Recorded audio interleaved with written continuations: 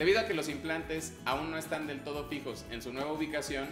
y el contacto con algún tejido puede desprenderlos, se recomienda no usar ninguna clase de gorra los primeros días después del procedimiento. Después del día 10 de la cirugía se puede usar gorra normalmente,